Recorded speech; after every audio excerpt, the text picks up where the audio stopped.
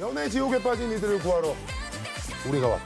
로맨스 파괴 프로젝트 연애 참견 시즌 3 시작합니다. 자, 오늘 뭐 새롭죠? 우리 좀 허전하기도 하고 한데 오늘 김숙 씨가 지금 다른 스케줄이 있어가지고 오늘 요 녹화에만 좀 참여를 못 하셨어요. 시청자 여러분께 좀 죄송하다고 연락을 해오셨습니다. 그 허전함을 대신 채워줄 special MC가 방문해 주셨습니다. 트렌디함의 아이콘입니다. 이유비 씨 어서 오세요.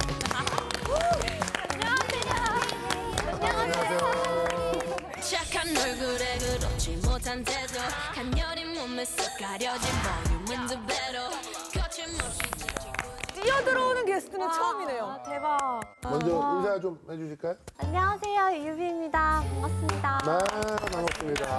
와, 대박. 근데 여기를 제가 안다니. 에너지가 막 총총총총 아. 진짜 다르다. 요즘은 어떻게 지내세요? 사극 드라마 찍고 있어서. 아, 드라마랑 어떤 드라마죠? exorcist 느낌의 이제 조선시대 퇴마물? 흥미진진하겠네요. 아, 좋아요. 재밌겠다. 저는 진짜 쿨하지 못해요. 왜 여자랑 친구를 해? 사소한 거에서부터 다 챙겨주고 어. 다 퍼주고. 혹시 이거 해봤어요? 남자친구 한적 있어요?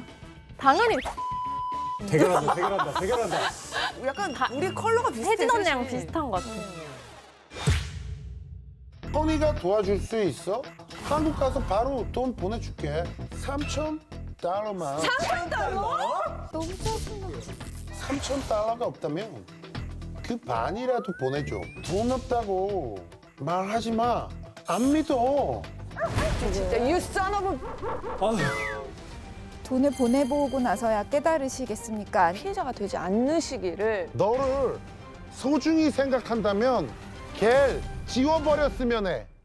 먼저 우리 지난해 50회에 방송됐던 로맨스 스캠 사연 기억나시죠? 사연 기억나시죠? 완전 기억나죠. SNS로 접근해가지고 고민녀한테 뭐 돈을 자꾸 요구하고 이랬던 사연인데 시청자분께서 아주 흡사한 로맨스 스캠을 당할 뻔했다며 사연을 보내주셨어요. 최근 제 친구도 완전 비슷한 놈하고 잠시 채팅을 했었어요. 천사같이 이쁘다 작업 멘트도 똑같고 오스틴에서 터키 출장 가는 것도 똑같더라고요. 맞네 같은 사람. 오스틴 공항 사진 보고 딱 알았네요. 마스크를 안 쓰고 있더라고요. 연참에 증거 사진으로 나온 그 남자의 비행기 한 사진도 마스크 안 쓰고 있지 않나요? 그래서 그 남자에게 왜 마스크 안 쓰냐고 물었더니 거기에 대한 답은 안 하고 딴소리만 하길래 사기꾼이구나 알았습니다. 완전 동일인물인가 봐. 후가 사연까지 듣고 나니까 거의 뭐 좀 확실해지는 것 같은데 정말 반박 불가한 증거가 또 있다고 합니다. 말도 안 돼요. 저희 제작진이 고민녀한테 말을 걸었던 그 남자 SNS 계정을 팔로우를 걸어봤는데요. 이거를 잠입 취재라 그러나? 함정 수사 아닙니까? 함정 수사? 한번 보시죠. 예.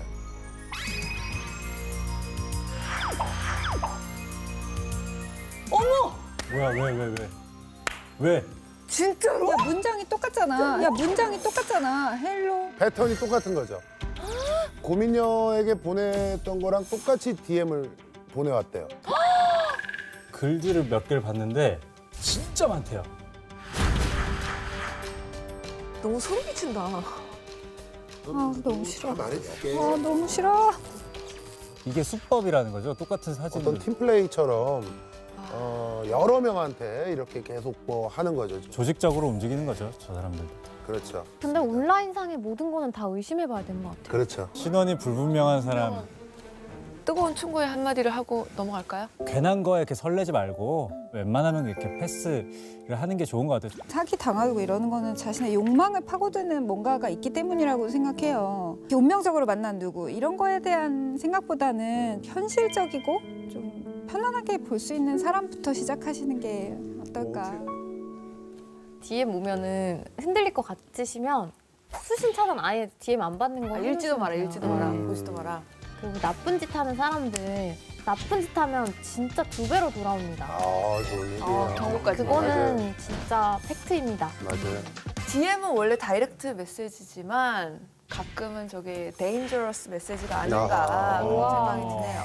네. 맞네. 맞네. 여러 말 할 필요 없습니다. 믿지 마세요. 몇 년을 보고 살아온 사람도 사기를 치는데 지금 한 번 본 적도 없는 사람한테 뭘 믿고 지금 뭘 사랑을 느끼고 이게 다 외로워서 그런데 조금 참으세요. 외로워도 외로워도 조금 참, 캔디야? 좀 참다 보면 나중에 정말 소중한 사람이 생겨요. 그러니까 지금 잠깐 외롭다고 너무 이런 거에 휘둘리지 마시고 조금 더 참아라. 아, 인내하시기 바라겠습니다. 믿지 마세요. 매달 20만 원씩 빠져나가는 돈은 뭐야? 후배들 밥 사주고 싶어서 내고 있지. 나한테는 안 미안하니? 자기가 당연히 이해해 줄 거라고 생각했는데. 어? 이반 빼서 기부했어. 300만 원. 저건 바로 드롭킥을 날려야지. 너무 싫어. 바로 올라가던데.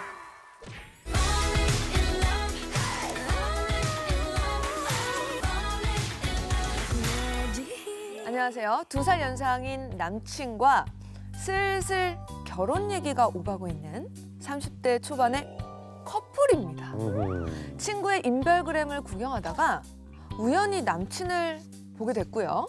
첫눈에 반해 소개를 받은 후에 2년째 연애 중입니다.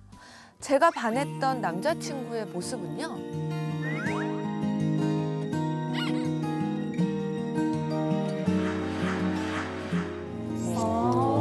마라톤 오, 단체 사진. 기마.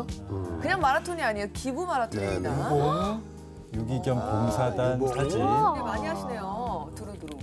남친이 올린 피드만 봐도 얼마나 착하고 대인 관계가 좋은 사람인지 단번에 알겠더라고요. 남친과 조금씩 결혼 얘기가 오가면서 긴축에 돌입한 우리 커플은요. 가계부 어플을 깔아서 지출 내역을 공유하기 시작했습니다. 그런데요. 우리 줄일 수 있는 고정 지출이 뭔지 생각해 보자. 매달 20만 원씩 빠져나가는 돈은 뭐야? 아, 그거는 음, 못 줄이는 돈이야. 대학교 동아리 회비거든. 동아리? 서른 살 넘어서 왜 아직도 회비를 내? 후배들 밥 사주고 싶어서 내고 있지. 원래 5만 원인데 난 20만 원씩 내고 있어. 죄송한데 좀 착한 톤으로 부탁드립니다. 착한 톤이야. 가장 착한 톤. 너무 저 웃겨. 착해져? 남자 착한. 착한 사람 연기를 해본 적이 별로 없어서 우리 여기서 저런 글씨 처음 여기 봐요. 착한 사람 께 별로 없어서 그래. 맨날 나쁜 놈 거만 해가지고. 더 상냥하게 해보세요. 상냥하게. 난 20만 원씩 내고 있어. 난 20만 원씩 내고 있어. 그 마음도 이해하는데 20만 원이 적은 돈은 아니잖아. 20만 원이면 뭐 옷 한 벌 사고 뭐 커피 몇 번 마시면 금방인데 의미 있는 데 쓰면 더 좋잖아. 저건 자기가 좀 이해해 주라. 저번 주 레스토랑에서 15만 원을 결제했던데 이건 또 뭐야? 외식한다는 말 없었잖아. 나랑은 저축한다고 비싼데 안 가면서. 아, 내가 후배 소개팅 주선했잖아. 근데 걔 요즘 돈 없는 거 내가 알거든. 아, 대충 어떤 그래서 식사비 계산해 주고 왔어. 눈에 보인다.